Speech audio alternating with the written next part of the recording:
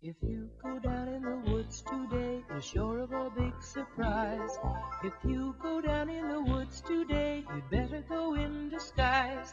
For every bear that ever there was will gather there for certain because today's the day the teddy bears have their picnic. Picnic time for teddy bears. The little teddy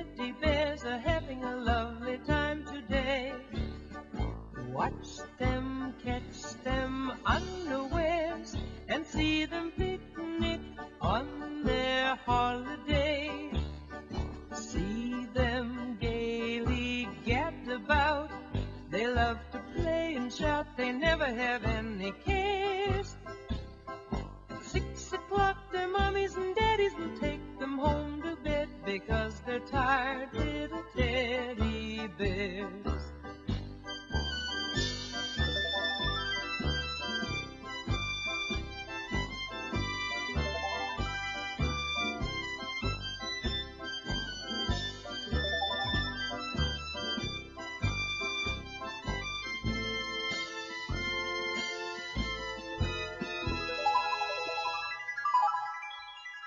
Every teddy bear who's been good is sure of a